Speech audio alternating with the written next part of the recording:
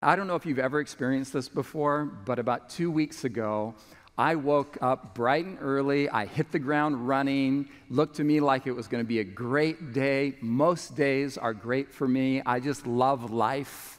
I was full of energy.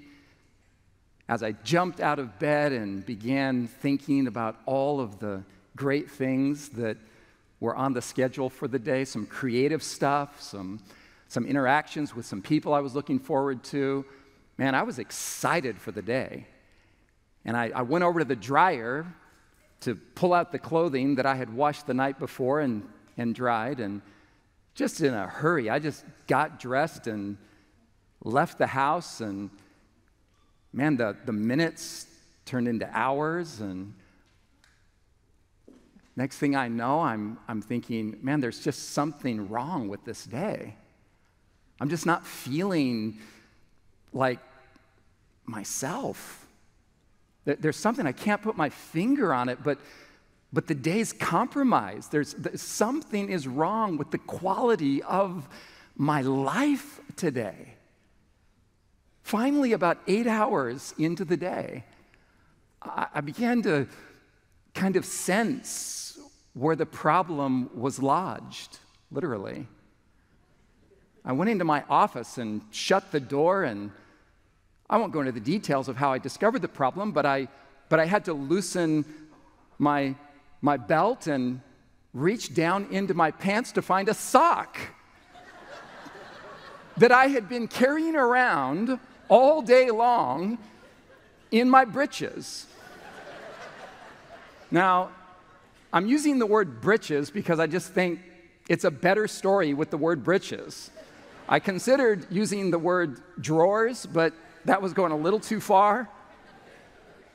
Pants just sounds, you know, blase. I mean, this story sounds best when you discover what I discovered, and that was that there was a sock in my britches. And this was not, this was not, what, what do we call those little ones? It wasn't an ankle sock. It wasn't a footy. This was a, this was a man sock. This was a work boot sock.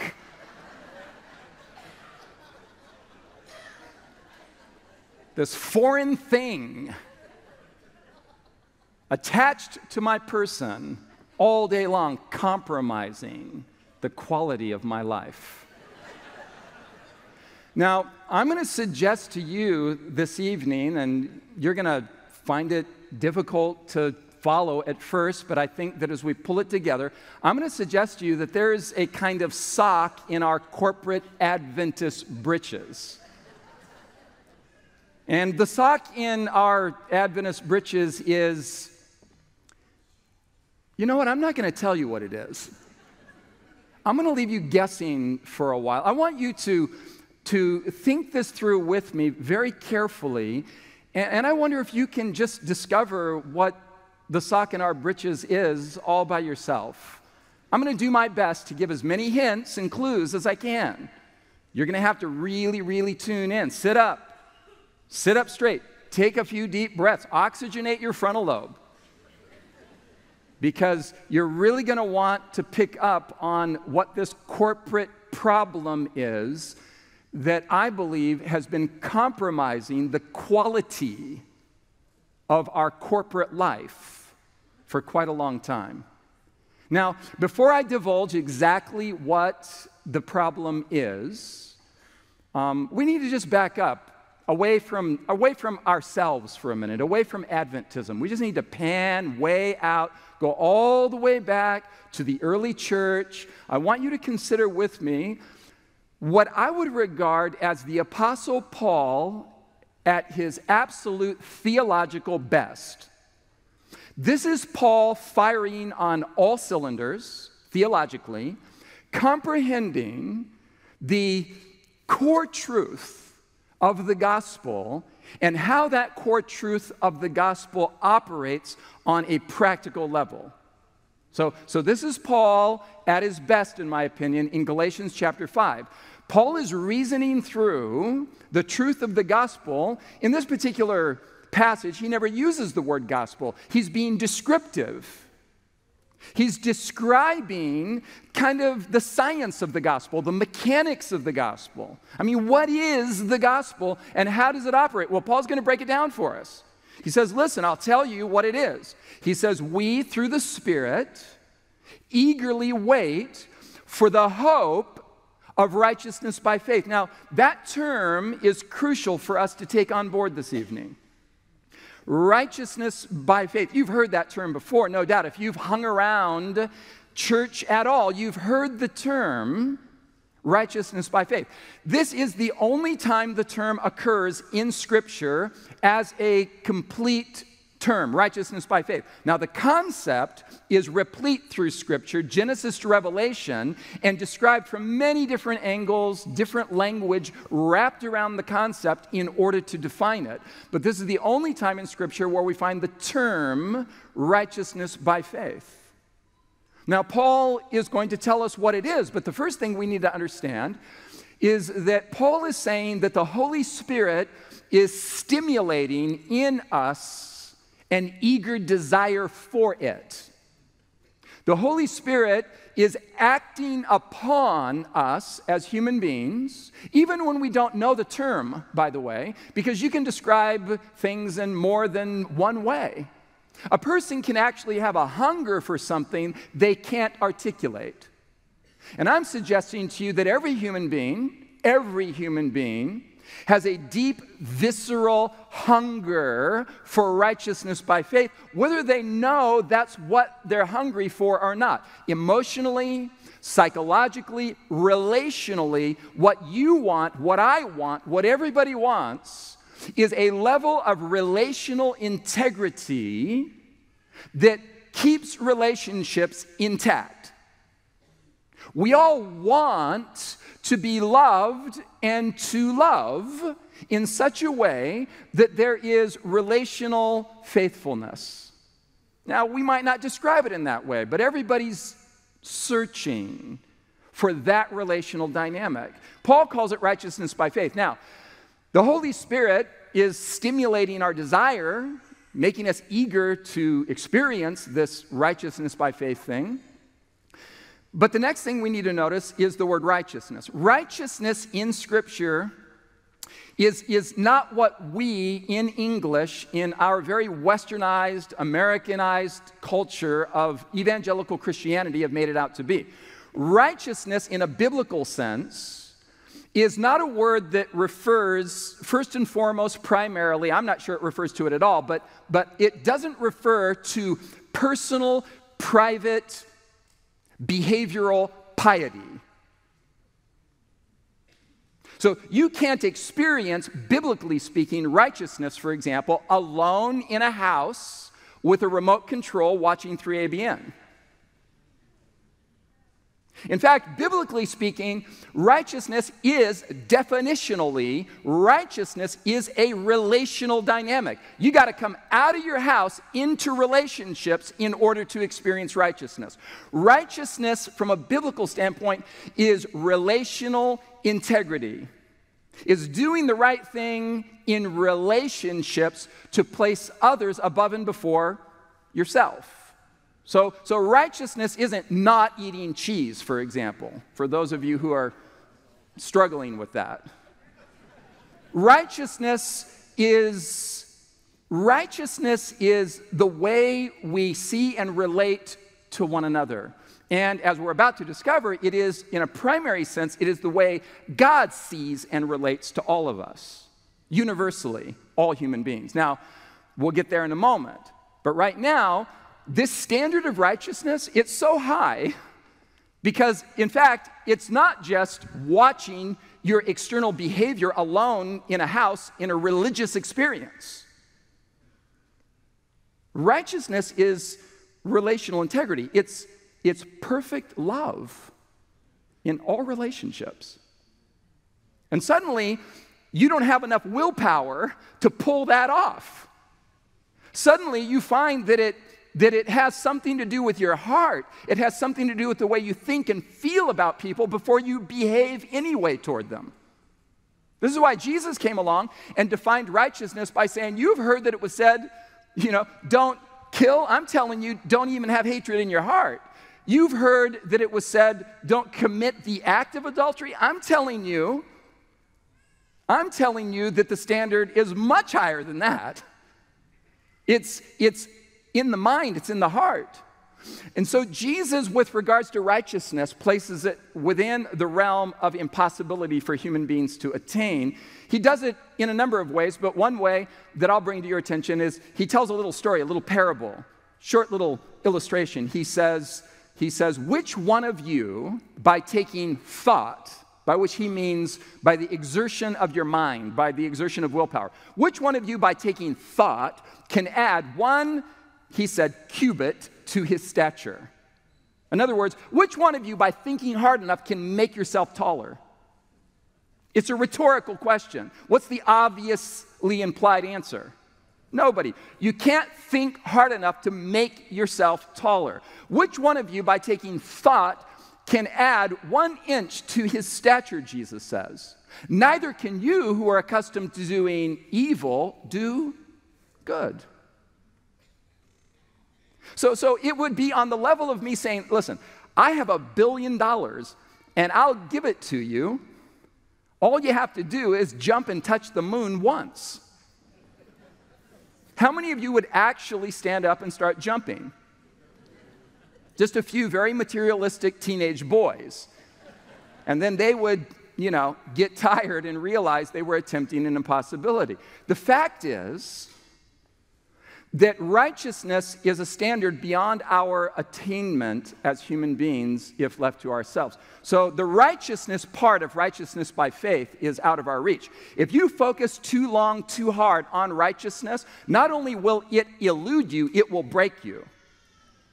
It will turn you into either a self righteous Pharisee policing the church, or it will cause you to give up in despair and you will leave the church because you will be drained of energy to think that you can measure up. So you can't, righteousness, that's out of our, our, our, our intellectual and our volitional orbit. That's not right. We don't, you can't try hard enough to achieve it. So the part in the equation, righteousness, mm, that's a, but he says righteousness is by or by means of another dynamic. Righteousness is by faith, he says. Now, now faith is a part of the equation where we begin to say, okay, now we're operating in the realm of something that can begin to take place in my actual life. But even faith, according to Scripture, even faith is a gift of God that lies dormant in every human heart to each one has been given a measure of faith, Paul says, so it's there like a sleeping giant of potential and possibility. But you can't try hard enough to wake it up, to make faith do what faith ought to do, namely righteousness. So Paul adds a genius stroke to his righteousness by faith theology when he says, We eagerly wait for the hope of righteousness by faith. And then he says this in verse 6 For in Christ Jesus, neither this nor that avails anything. Now, I put blanks there because literally, literally, without any exaggeration, you can put anything in those blanks and Paul's statement would remain true. Now, the big hot button theological issue at that time was circumcision or uncircumcision. So Paul speaking in his current situation says says for in Christ Jesus neither circumcision nor uncircumcision avails anything with regards to righteousness with regards to salvation. And i'm telling you i'm suggesting to you that you could literally put anything there and the statement would remain true. For in Christ Jesus neither sabbath keeping nor sunday keeping oh some of you look nervous neither Sabbath keeping nor Sunday keeping avails anything with regards to salvation. You'll have to sit with that for a while. I'm suggesting that literally anything that you put in the blanks, the statement remains true. Because Paul is saying to us there's, there's nothing that avails anything except one thing. Only one thing avails. Righteousness is by faith, and he says, in Christ Jesus, nothing avails anything but faith working through love. Faith that works by love. Now we have an equation that Paul has built for us. Now, the word working here is, I don't know exactly how you pronounce the Greek. Maybe it's energio or energeo, I'm not sure. But you can hear the word energy, right? So, so it is literally the word energy. Paul literally says, literally says, righteousness is by faith, but then it's like he's whispering the most precious secret of the universe. He says, righteousness is by faith, but faith is energized by love. Now, he's not saying that faith is energized by you loving God. He's saying that faith is energized by God's love first and foremost toward you, toward me, giving rise to response. So, so righteousness is by faith, and faith is energized by love. This is fabulous. Um, Ellen White received a letter sometime around 1890. That'll become important in just a moment. And there was a big, big uh, debate in Adventism about this thing that Paul calls righteousness by faith. And so she was getting all this mail. And one person, well, many people wrote to her with this question in so many words Hey, Ellen, what is this thing that everybody is talking about and debating about righteousness by faith? What is it? Now, she didn't give on this occasion a really high sounding academic theological answer. She said, I'll tell you what it is. Righteousness by faith is, and this is the definition she gave it is the active principle of love imparted by the Holy Spirit. That's what it is. So, so she was speaking practically, and she was actually speaking, she was speaking a theological language here. She was speaking Pauline. She was, her mind is in Galatians. She comprehends Romans. She's thinking, okay, righteousness is, is, is the active principle in love, of love, and the Holy Spirit is the, is the, the activating influence, the, the stimuli. The Holy Spirit is the one who, just like Paul said, who's stimulating a desire for righteousness in the human heart. So I'm going to suggest to you, I'm going to suggest to you that righteousness by faith is a relational dynamic. In fact, righteousness by faith is the highest form of healing psychology. Righteousness by faith produces deeper, more lasting transformation in the human soul than any counseling session you've ever had, than any self help book you've ever read. And that's not to put down counseling or self help books. I mean, you got to do what you got to do. But I'm telling you that you can cut to the chase and leapfrog right over everything and encounter righteousness by faith for all its worth.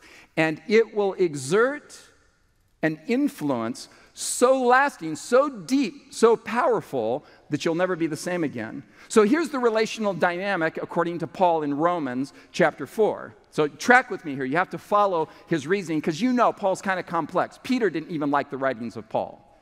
So you need to think this through with me for a minute. Paul is a little complex, but in, in Romans chapter 4, Paul is defining the relational dynamic of righteousness by faith, and he says, okay, let me, let me wrap language around this. Let me, let me tell them what it is. Now, his context is the story of Abraham. And he says in Romans chapter 4 that, that, that what God was doing with Abraham and what God wants to do and is doing with you is this God calls those things which do not exist as though they did. Now, when you do that as a human being, that's called lying. Don't do it. But when God calls those things which do not exist as though they do exist, it's not lying because, because there's actualizing power in the Word of God. There's actualizing power, I'm going to suggest to you, in the love of God. We'll get there in just a moment. Now, Paul is saying God calls those things which do not exist as though they do. So you're wondering at this point, so am I. Well, Paul, what do you mean? What are the things that God declares or speaks or says that aren't, but yet he speaks them as though they are? Well, his context is righteousness, innocence. In other words, Paul is saying, listen, he's saying, God regards you as righteous even though you're not. And he relates to you as if you're innocent, as though you've never done anything wrong in your whole life. He relates to you as if you're perfectly innocent, even though he knows you're as guilty as the day is long. Now, this is a relational dynamic. This isn't, this isn't God, God plying fiction. Because again, the way God relates, this is so crucial to understand. The gospel, in a sense, is prophetic. God prophesies righteousness and innocence over us, and the thing he prophesies becomes true. That's how powerful his love is. Now, on a, on a human level, on a micro level, we experience the power of this kind of thing all the time. You know, if you have a little boy and you say, hey, Johnny, would you sweep the kitchen floor? He's five years old. The broom is bigger than he is. He doesn't know how to handle it. He doesn't have the dexterity. He doesn't have the balance.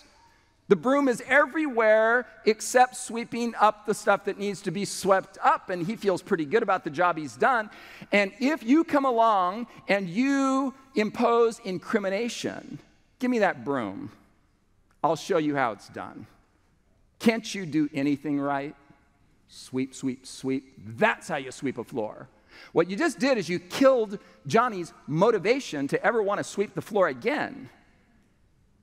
And if you relate to a child that way enough, all desire to please will be killed in that child's little heart. But if you, with love, let your love cover all the junk on the floor and you say, Good job, dude. Man, you should be a professional sweeper. In fact, you'll do all the sweeping from now on until you're 36. If you relate to him as though he did a good job, you are, in a sense, as a father, as a mother, you are prophesying success over Johnny. You are creating a vision of himself that he cannot conjure for himself. You're basically loving him into effective sweeping by overlooking his failure to do it right. It's a relational dynamic. Now, God made us and therefore understands our psychology, how we think and feel and operate and behave. And he says, Listen, I'm going to relate to you as if you're innocent, even though I know you're guilty. I'm going to relate to you as if you're righteous, even though I know you're not, you're sinful. And then, and then Paul builds his argument through the book of Romans. And when he comes to chapter 6, he says this, it's very fascinating. He says, likewise, now the likewise refers back in chapter 6, chapter 5, to everything that has been objectively achieved in Christ.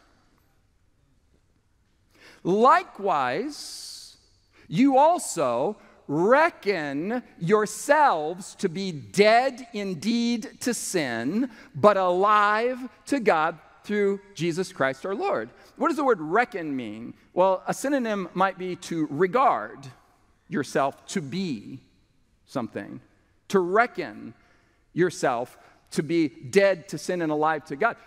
You know, upon self examination, that you are very much alive to sin and its pull upon you.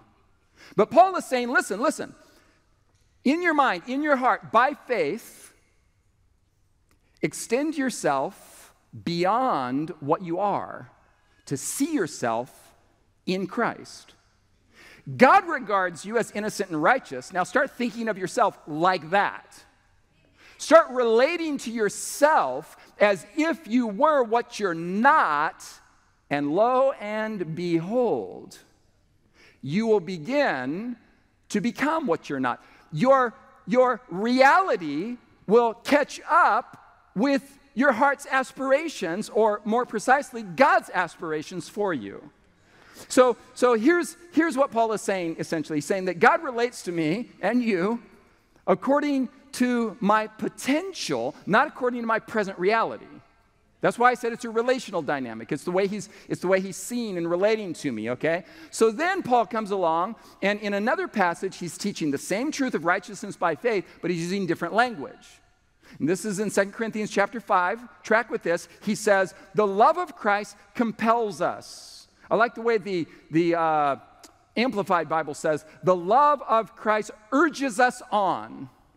So the love of Christ, it's a motivational impetus. It's, a, it, it's, it's powerful, it's, it's regenerative, it's creative. So the love of Christ, it, it, it compels us.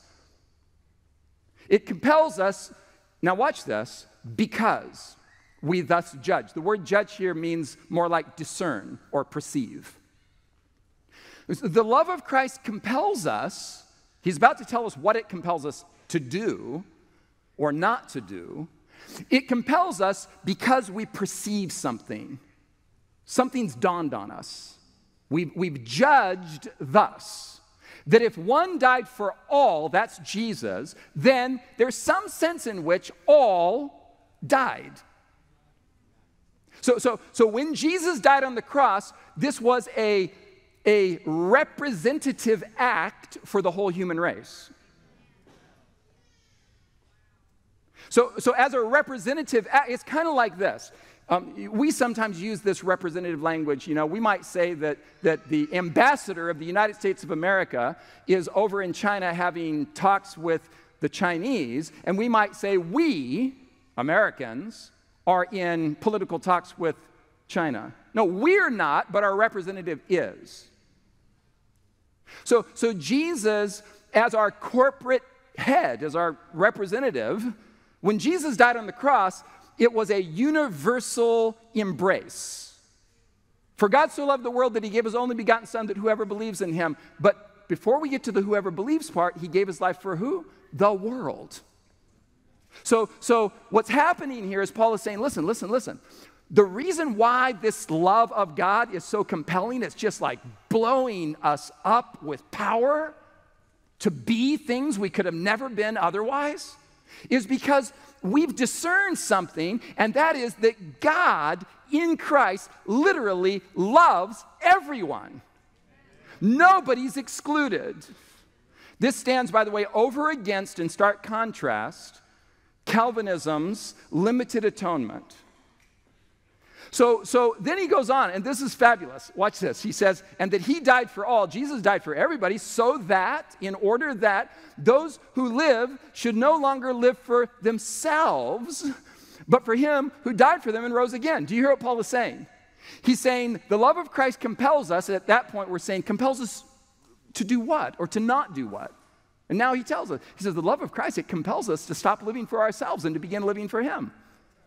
It changes us at the most fundamental level that a human being can be changed. It shifts the human focus outward to Christ. The egocentricity that is natural to human nature is broken up by virtue of the sacrifice of Christ at Calvary. Our narcissism is broken by the love of God in Christ. Our focus becomes outward. We begin to see something. So, so, so what Paul is saying is he's saying, listen, God's love is a creative force. It changes me. It changes you on a deep, deep level. Ellen White says it this way. She says, Love is power. Intellectual and moral strength are involved in this principle and cannot be separated from it. Love cannot live without action, and every act, that is, every act of love, increases, strengthens, and extends it. It is love.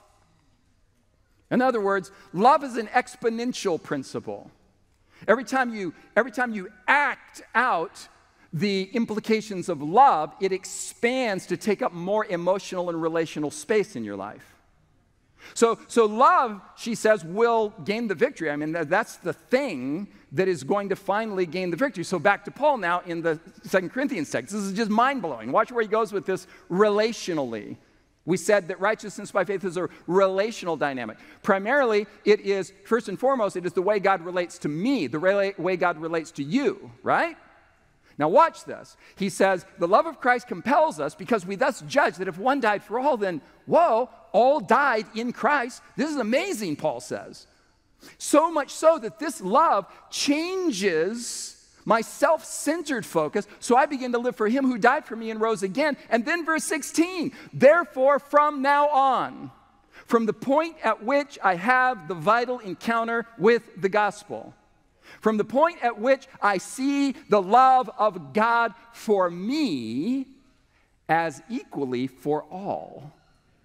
The moment God's universal love dawns on me, from now on, he says, we regard no one according to the flesh. We cease relating to people according to their natural fallen carnality, their fallen condition. We stop relating to people according to their unrighteousness and their guilt, and we begin relating to people how? Well, precisely the way God relates to us, calling those things which do not exist as though they do exist. We begin to relate to people differently. I'm going to summarize it like this for you. The way I see God seeing me, and you can add there relating to me. The way I see God seeing me determines the way I see myself, right? That's natural. You, you follow so far, right? The way I see God seeing me, whoa, God, you love me like that. That's amazing. Lord, I'm, I'm a sinner. I'm guilty. I'm fallen. But you love me without condemnation? That's just so astounding. So it changes the way I see myself, Paul says. But here's the kicker it then changes the way I see others. Because precisely the way that God sees me, are you tracking? Is according to Paul the way he sees everybody. So, how can I see anybody any differently than the way God sees them? That is to say, the way he sees me. Changes everything. Now, this is simply to say that according to Paul, the gospel has an objective dimension, which is the facts of the gospel. Something occurred in the person of Christ historically 2,000 years ago over which I had no control and to which I had no, made no contribution. He just did something. It's history. It's the facts of the gospel. It's what Paul calls in Romans the redemption that is in Christ Jesus. Done deal, accomplished fact, it's, it's, it's history. Are you still with me? That's a little hard for us Westerners to wrap our minds around. But our representative head, our new Adam, the new man, Jesus, achieved a lot in that one human life. That's the objective facts. But then the objective facts of the gospel have subjective experiential overflow. And, and this doesn't change the facts. There's nothing in my experience that alters the historical facts. Right? Faith doesn't make new facts. Faith doesn't produce more data in the gospel. My experience doesn't produce any new data. Faith is me experiencing the data, the facts of the gospel. It's extremely humbling, and rightly so. Because you remember that righteousness is outside of our moral orbit. You need to be loved unilaterally. You need to be loved by a God whose love is so absolutely unequivocally unconditional that there's literally nothing you can do to alter it by way of right deeds or wrong deeds. God's love is a full throttle, pedal to the metal, static, very, very high velocity reality that is coming at you all the time. And you can never, ever, ever turn it off or down or divert it by anything you do. He just simply loves you, full stop, end of subject. And now just be in awe of that. Just allow it to be what it is. And, and here's the thing what Paul is saying is there's a sense in which you are in Christ what you are not in yourself. So, so my life, my life is, is in a process of incrementally catching up with the reality that is already fully intact in Christ. And this is why there, there can be no merit. I don't manufacture anything. So at this point, we need to have a brief tour of Adventist history in relation to righteousness by faith. Um, I don't mean to be mean right now, but some of you might not like some of this. Um, please be patient with me as I try to articulate this. Be nice to me. I'm not Paul, I'm not Isaiah, I'm not a prophet, I'm Ty. This might not come out exactly the way you want it to come out, but try to hear what I mean if you don't like something I say. Okay, that's my little preface. Now I'm going to go for it. So, a brief history of Adventism, something like this. We trace our beginnings as a people to 1844. In 1844, a movement was born. By the way, it was a movement that was brought into existence by teenagers and young adults. The prophet was a teenage girl. The biblical scholar among them was like 13. His name was J.N. Andrews. He had much of the Bible memorized. It was a group of teenagers in a room. The old guy was Joseph Bates, and he was like in his 30s or something like that. Adventism came into existence as a movement of teenagers and young adults. And that movement came into existence, and it was a, it was a reformatory movement. It was, it was on the tail end of the Protestant, what do we call it? The Protestant what? Reformation. So there's an accumulation of, of, of light and strands of truth that are being pooled together. Sometimes somebody says, Hey, you're a Seventh day Adventist. What does that mean? I say, Well, I'm kind of like a, an amalgamation of all the Protestant denominations you've heard of. Like the Baptists, I believe in baptism by immersion and adult consent in matters of faith because of free will. Like, like the Methodists, I believe in the, re, the rebirth and systematic Bible study, Methodism. Uh, and, and like the, I won't go on because I'm going to run out of time, but you see the point. They begin, to, they begin to pull together, and there were additional discoveries that were made. And so something happened from 1844 in the next couple of decades there was composed what we might call the, the doctrinal portfolio of adventism and that doctrinal portfolio as you know was composed of things like the sabbath and state of the dead and second coming and sanctuary right? Are you with me still? Are you tracking with me? So 1844 this begins to happen. This, this massive doctrinal discovery begins to occur. Now, as that discovery begins to happen, around 1852, the girl, the prophet, this young lady, begins to say, you know what? We're getting a little high on ourselves regarding all of this truth we're discovering. And she, for the first time in 1852, identifies that small band of Adventists as slipping into what she called the Laodicean condition. 1852 was the first time she applied that Laodicean message and revelation to Adventism. And she, she was applying it in a specific way.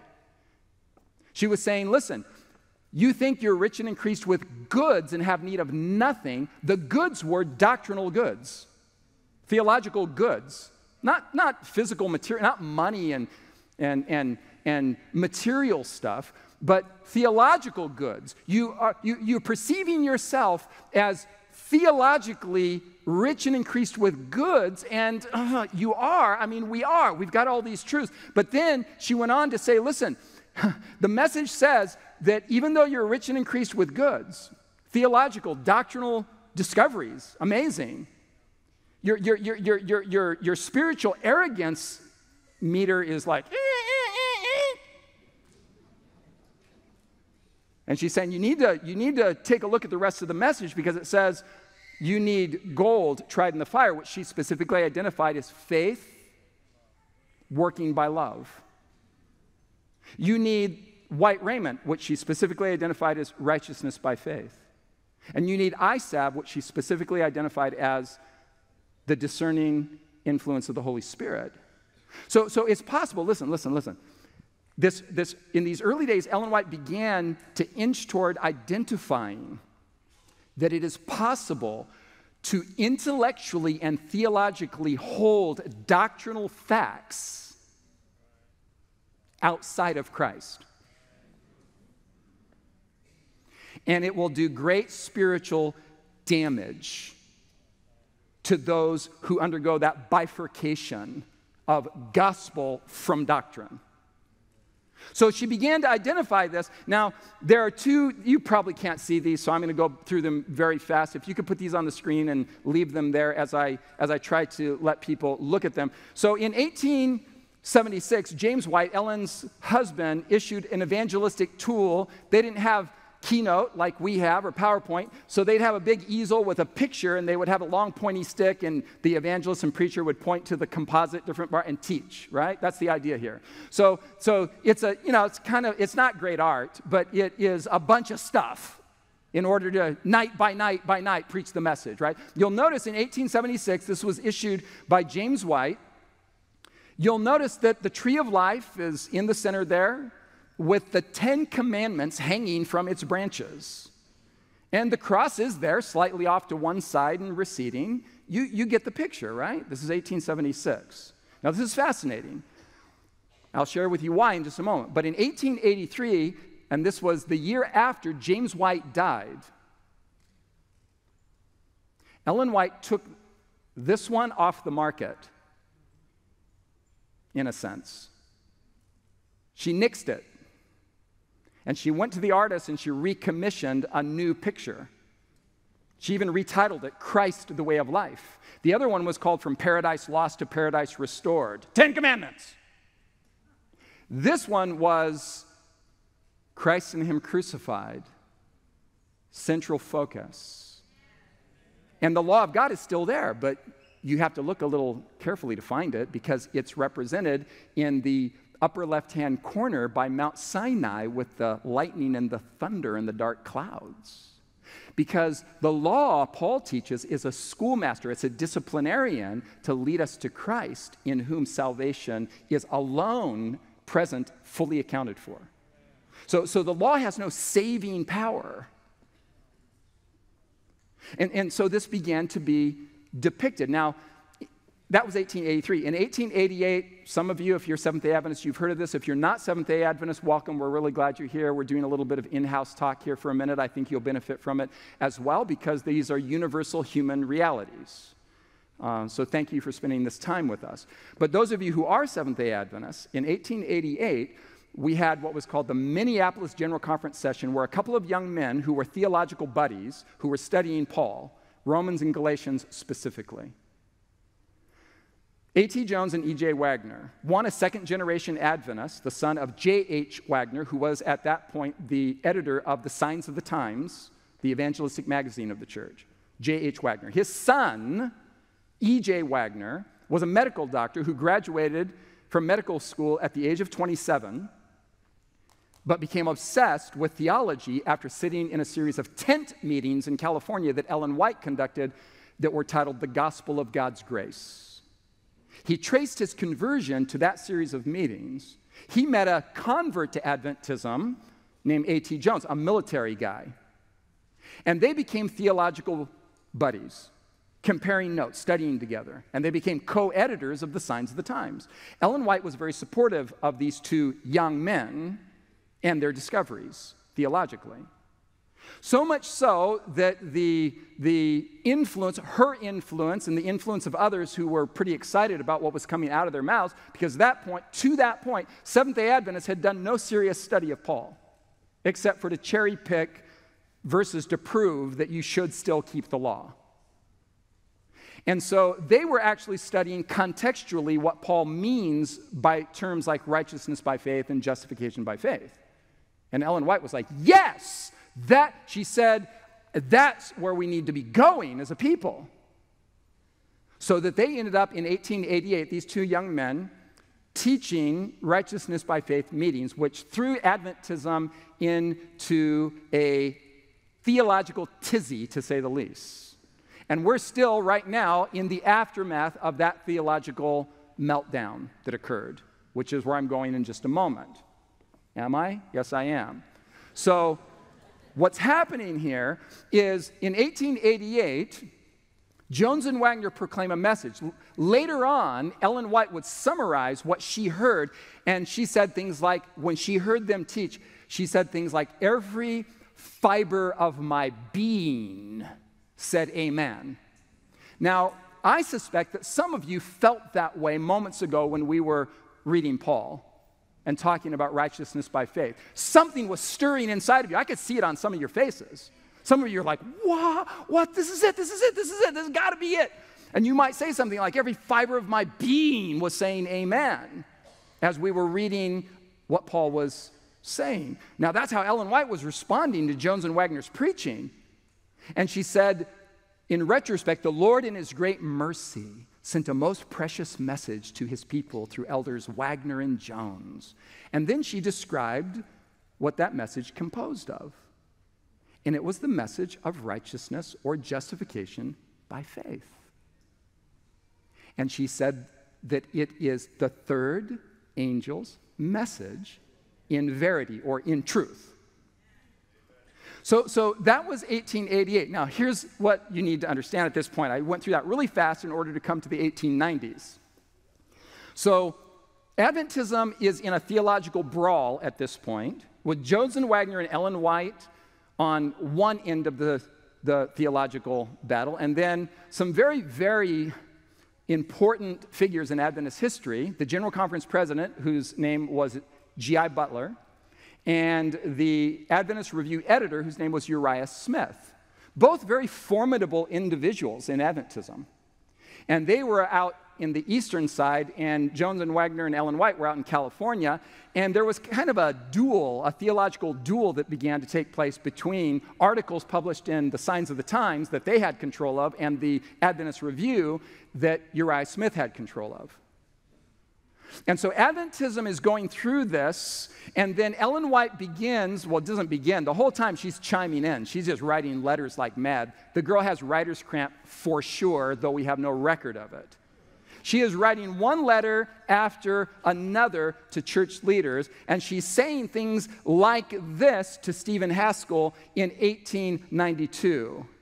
She says, in the context of righteousness by faith in the context of Jones and Waggoner, in the context of 1888 General Conference session. She says the whole earth is to be lightened with the glory of God, she says. Now, that's language that is familiar to Seventh day Adventists. The whole, this is like the universal, this is the gospel going viral, we would say in modern vernacular.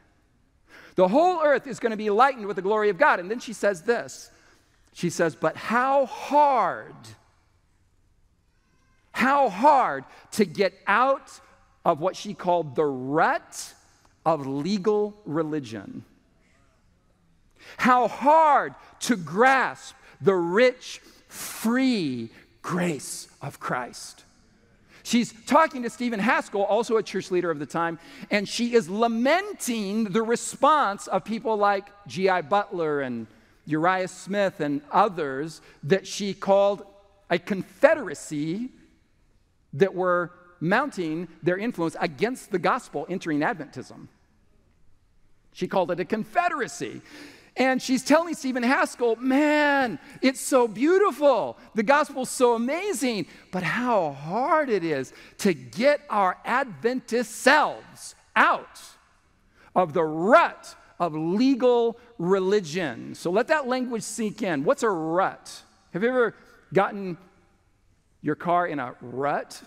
What, what is the characteristic of a rut? Well, you're stuck. Okay? And Adventism, in a sense, has been stuck for more than 100 years in a rut of legal religion. Now, some people, I know what you're thinking. Some of you are sitting there thinking, I saw some of you went like this. You crossed your arms. I saw it. You crossed your arms.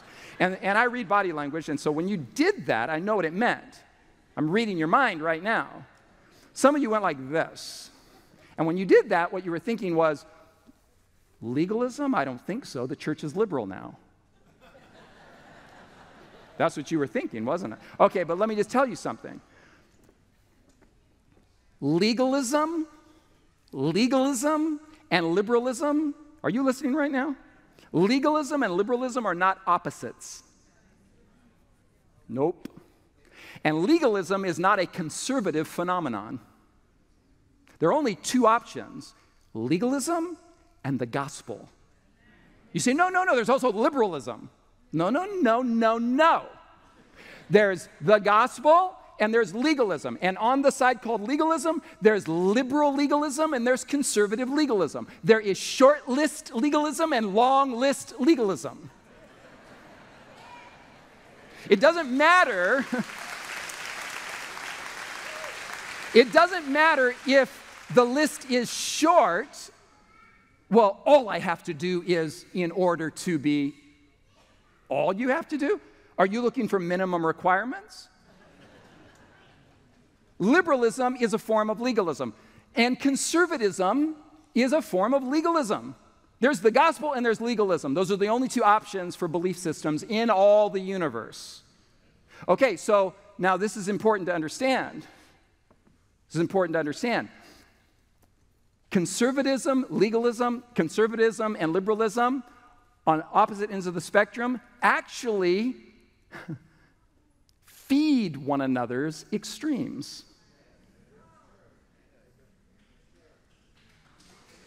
Yeah.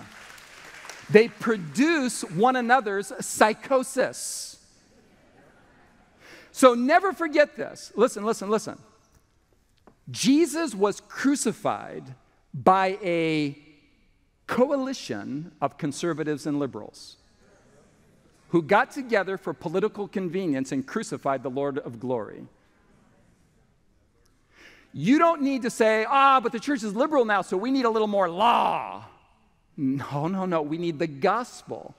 And you don't need to, you don't need to say, wow, the church is legalistic. We need some more liberalism. No, no, we need the gospel. We don't need, we don't, this whole pendulum swinging thing that we've been doing approximately forever as Adventists, back and forth. We don't need to overcorrect to one extreme or the other to correct the opposite extreme. The gospel is the remedy for both ends of the legalism spectrum.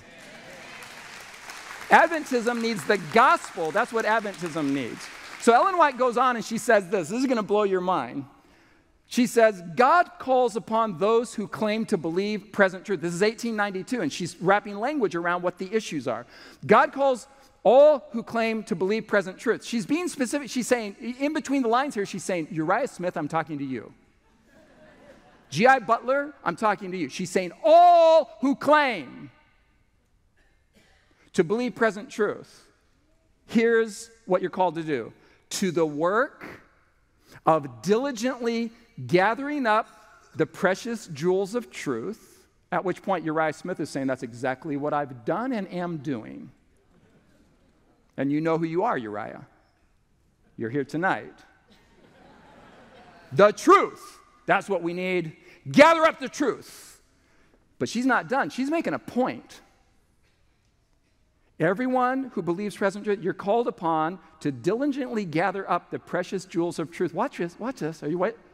and placing them in their position in the framework of the gospel. Let them shine in all their divine beauty and loveliness in the context of the gospel. That's her point.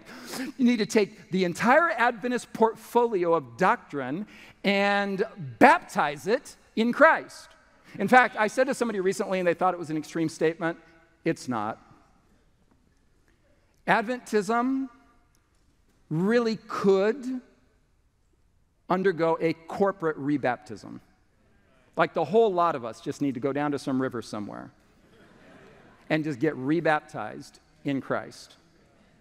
With all of our doctrinal knowledge, taking it under the water with us, and having it come back up in the glorious light of the grace of God in Christ. Now, in that historical context, by 1899, we had another General Conference president. His name was G.A. Irwin. And G.A. Irwin observed in a letter that he wrote to a ministry colleague, looking at 1888 and what might have been, he said, We, speaking of Adventists, we would have been, if we had accepted the gospel and woven it into Adventist doctrine, we would have been infinitely further along in the message than we are today. By which he means we would be much more theologically mature than we are as a people. We, we have reduced the Sabbath to a right day, wrong day argument. And the gospel of God's grace has been present as the secret treasure all along within the Sabbath. And the same is true of our entire doctrinal portfolio. We think that because we persuade somebody to switch from the wrong day to the right day, that we've achieved something. Well, we have achieved something. We've baptized their legalism and brought it right into the church. We have baptized a way of thinking, and then we try to do church together. Is it any wonder that we are in a constant conflict as Adventists over peripheral issues. He says we would have been far more theologically mature by now if we had accepted the gospel. Now, A.G. Daniells in, in 1902 is the General Conference president, and he's musing about this history. They're all thinking about this.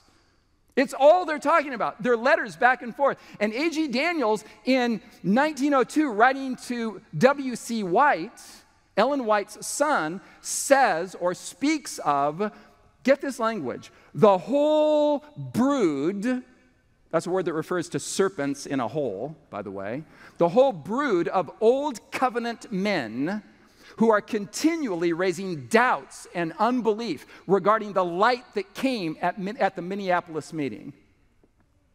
He's saying that there is an old covenant coalition of men of influence who are barring the access of the gospel to Adventism. We keep, Ellen White's been shouting it, Jones and Waggoner have been saying it, by this point, a guy named W.W. Prescott is on board. Stephen Haskell is getting it. And A.G. Daniells is frustrated. He's saying there's this old covenant brood, there's this crew, there's this posse of old covenant theologians who just won't let Jesus become central in Adventism. And he called them the old covenant brood because they don't believe the gospel. Now, if you just walk right up to them and you say, Do you believe the gospel? They're going to say, Yes, we believe the gospel. If you go a step further because you're unsatisfied with that answer, would you define it for me? They will say something like, Yeah, I believe the gospel. The gospel is victory over sin, the gospel is obedience to the law of God. The gospel, and at that point, you know you're dealing with a pagan version of Adventism. It's paganism. It's Catholicism in Adventism. It is salvation by works, which is the diabolical teaching of Babylon that is to be brought down by the gospel that we're called to preach. So then Ellen White comes along and she says this there's nothing like having a prophet. The development of the desire, she says in 1903, the development of the desire to control has been very marked. And God sent warning after warning forbidding confederacies and consolidation, that is, of political power in Adventist circles. He warned us, God warned us, warned us against binding ourselves to fulfill certain agreements that would be presented by men laboring to control the movements of their brethren. She's saying, listen, listen. She's essentially saying that legalism invariably arouses in human nature the impulse to control others. And she's saying there is a direct correlation between our resistance of the gospel in 1888 and the trajectory toward creating more and more control mechanisms politically in Adventism. And we're living presently in the long, long trajectory of the outworking of that principle. So an angel comes to Ellen White. I guess that was happening. It's amazing to think about. I wasn't born and raised in Adventist, so I'm still blown away by the fact that we. I was an Adventist for like a year before I knew we had a prophet. I was like, "We had a prophet? Where is she? What are you talking about?" yeah, yeah, we have a prophet. All these books that you're that we've been giving you as gifts. I mean, they were piling up: red books, black books, books without pictures, without number. I was 18 years old, and they were like, "Yeah, she's a prophet." And I was like, "Can I meet her? Where is she? She live in San Diego? No, she's dead. It was a long time ago. Oh." That's how foreign religion was to me, and Adventism was. But angels would come to her and tell her things. So she says in one letter to G.I. Butler, the General Conference president, who she's up to here with in his rejection of the gospel and pushback, she says, An angel came to her and said that a time of trouble was before us as Adventists and great evils. Well, what kind of evils? What, you know, financial problems, uh, organizational, pro- what kind of evil? The angel told her that a, that a time of trial was before us Adventists, and great evils would be the result of the Phariseeism, which has, in a large degree, taken possession of those who occupy important positions in the work of God. He said, the angel, she's saying, this angel told me that the work of Christ upon the earth was to undo the heavy burdens and let the oppressed go free, to break every yoke. And the angel told her, and the work of his people must correspond with the work of Christ. The angel is telling Ellen White that you'll know the real gospel when you hear it because it starts setting people free it starts lifting the burden of legalism off their shoulders. The shame begins to dissipate, and people begin to feel as though God loves them. And they begin to live in the energy of that love. So Ellen White went on to her grave saying things like this in rapid fire succession. The danger has been presented to me again and again of entertaining as a people, corporately, false ideas of justification by faith. I have been shown for years that Satan would work in a special manner to confuse the Adventist mind on this point justification by faith. The law of God, she says, has been largely dwelt upon and has been presented to congregations almost as destitute of the knowledge of Jesus Christ and his relation to the law as was the offering of Cain. She's saying Adventist preaching is as void of Christ as the offering of Cain. If you're going to have a prophet, you want a spunky chick who will tell it like it is. I mean, if you're going to have one, right? And then she says this the thought, the thought, just take this thought on board. The thought that the righteousness of Christ is imputed to us, not because of any merit on our part, but as a free gift from God, is a precious thought. The enemy of God, she goes on and says, the enemy of God and man is not willing that this truth should be clearly presented, for he knows that if the people receive it fully, his power will be broken. I'm adding over Adventism. Adventism will be set free from satanic oppression when righteousness by faith becomes the pervasive theme on our lips. She says in another place, Our churches are dying. Have you been wondering why they're dying? Our churches are dying for want of teaching on the subject of righteousness by faith in Christ and on kindred truths. That's why they're dying. And then she says this, this this brought me when I was a teenager, this brought me to my knees. I can see myself on my knees shedding tears when I read this. There is not a point that needs to be dwelt upon more earnestly, repeated more frequently, or established more firmly in the minds of all. This sounds important, doesn't it? What is it, Ellen? I mean, what is the thing that we need to just say over and over and over and over and over again? What is the thing that we need to emphasize? What is the thing that we need to preach with gusto and vim and vigor and clarity? What is the thing, Ellen? What is the thing? There is not a point that needs to be dwelt upon more earnestly, repeated more frequently, established more firmly in the minds of all than the impossibility of fallen man meriting anything by his own best good works. Salvation is through faith in Christ alone. this is like the chord on the guitar that we need to be strumming over and over again.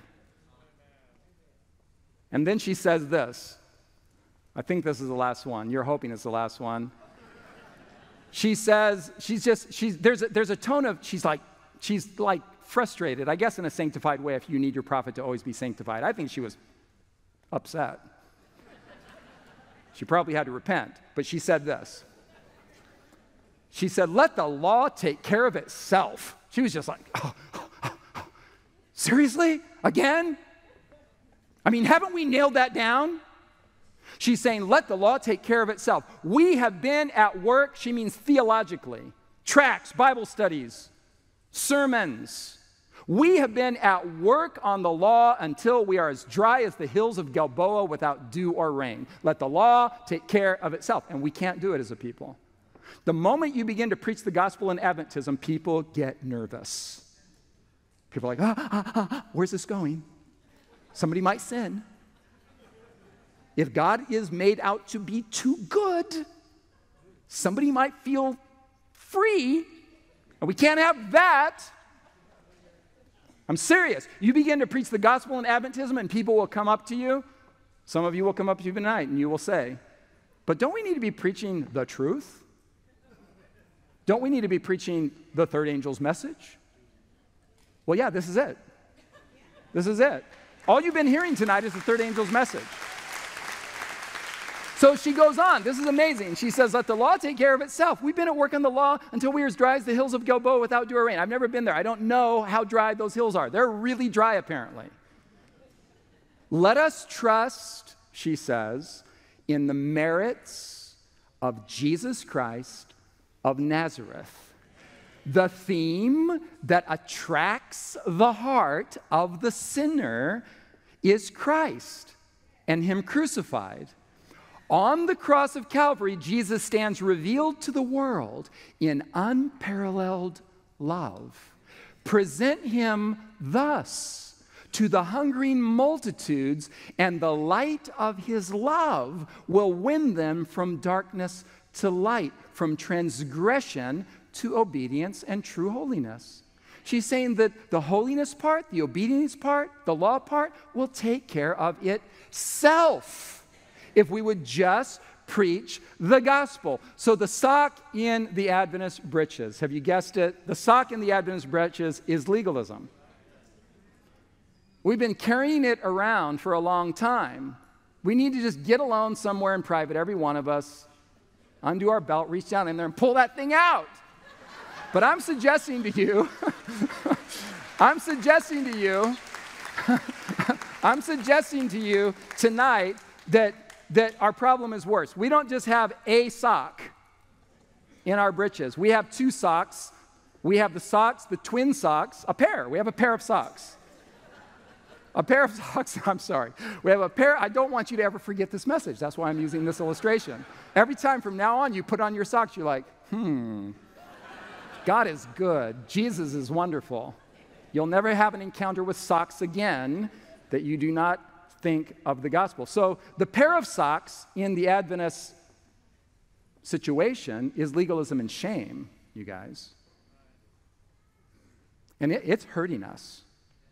It's hurting us. It's hurting our young people. It is messing with us. The primary cause of our aging, and I don't mean aging in a good sense, but demographically aging, where young people are bolting left, right, and center, they're just out of here. I gave you the stats in our first time, first session together. The reason, the primary reason that Adventism as a denomination is aging demographically is because of this cycle of shame and effort and failure, which feeds shame until you just give up in despair. And you just can't do it anymore because legalism is an aging influence. Legalism is draining. Legalism is depleting of spiritual energy. Legalism is damaging to relationships. Legalism is degenerating. It's degenerative. It will literally biologically mess with your immune system.